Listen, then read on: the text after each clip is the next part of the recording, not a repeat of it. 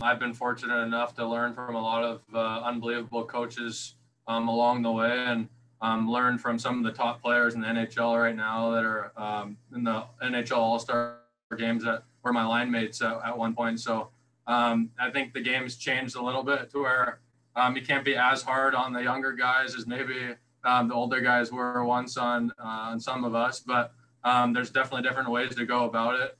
And I've always just tried to lead, um, just let my actions on the ice kind of um, lead rather than um, be kind of a prick to maybe some of the younger guys. But I think there's definitely a way to go about it to where um, to give constructive criticism, it is necessary. It's part of growing. It's part of the game. But obviously, being um, there to support them and help them. Even now, still uh, being this is going to be my sixth year pro, and um, I'm still learning every single day. And I think that's what makes it fun. Every every day brings something new, and um, just kind of rolling with it and, and uh, just controlling what you can. You love having that youthful enthusiasm around you.